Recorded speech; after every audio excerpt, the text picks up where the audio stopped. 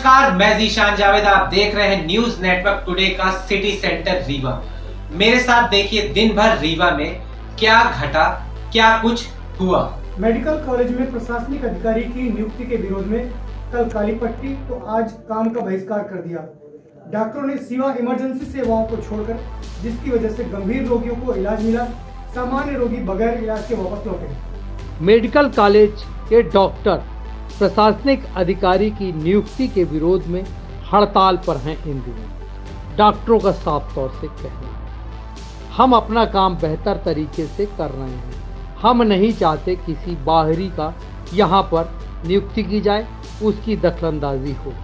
सरकार ने मेडिकल कॉलेजों में प्रबंधन के लिए प्रशासनिक अधिकारी की नियुक्ति का ऐलान कर दिया है, जिसका डॉक्टरों द्वारा विरोध किया जा रहा है।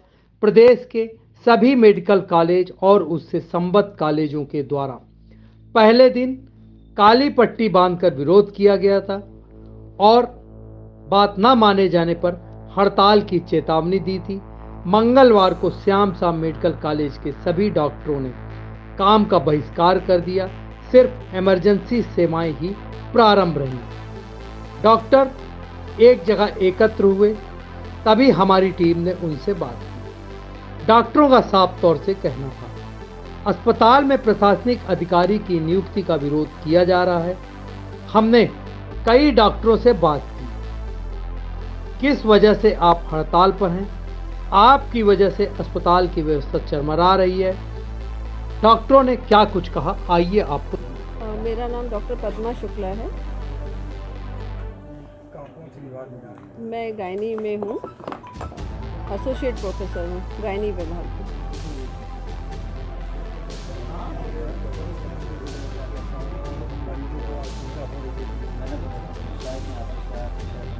नहीं आज हम आ, सिर्फ़ अपना असहयोग दिखा रहे हैं प्रशासन को कि हम अगर हमारी मांग मांगे मान ली जाती हैं तो हम आगे हड़ताल पर नहीं जाएँगे। और मरीजों को असुविधा ना हो उसकी हम लोगों ने पूरी व्यवस्था कर रखी है। साथ में ही इमरजेंसी सुविधाएँ हमने सुचारू रखी हैं सिर्फ़ रूटीन का ही काम बंद किया है। आ, मेरा नाम डॉक्टर हृदय दीक्षित है। मैं इस समय पर Madhya Pradesh state J D president हूँ। अभी जैसा कि ज्ञात है कि सरकार इस तरीके का कोई प्रस्ताव लेके आने वाली है जिसमें प्रशासनिक एवं वित्तीय प्रबंधन हेतु डिप्टी कलेक्टर या फिर एसडीएम की नियुक्ति की जाएगी। इस समय जैसा कि आप सब लोग जानते ही हैं कि हमारा जो progressive Madhya Pradesh medical teachers association है, इसका पुरजोर विरोध कर रहा है। और Madhya Pradesh junior doctor association MTA को पूर्णतः समर्थन अपना प्राप्त करता है। और सरकार से निवेदन है, मंत्री जी से निवेदन है, मुख्यमंत्री जी से निवेदन है, इस तरीके का किसी भी तरीके की टकराव की स्थिति ना उत्पन्न की जाए, इससे मरीजों का ही नुकसान होता है। और विगत समय में भी देखा गया है कि अधिकतर सरकार की नीतियों से लगातार टकराव की स्थिति आए समय समय पर बनती रही है। मेरा नाम डॉक्टर गीता त्रिपाठी है। मैं professor and head dental department हूँ, मेडिकल कॉलेज में।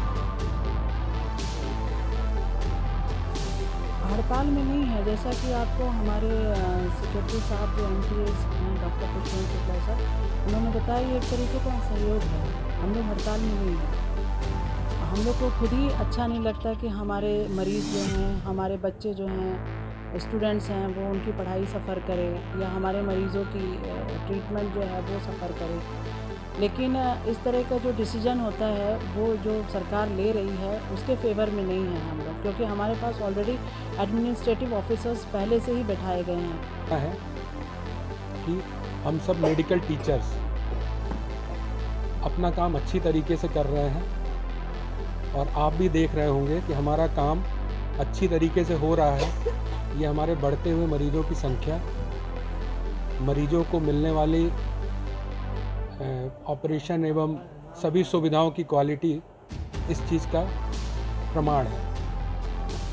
ये प्रस्ताव पूरी तरह से औचित्यहीन है और इसका हम लोग विरोध कर रहे हैं। दिन भर की ताज़ा तरीन खबरों से जुड़े रहने के लिए चैनल को सब्सक्राइब करें और बेल आइकन दबाएँ और देखते रहिए न्यूज़ नेटवर्क टुडे।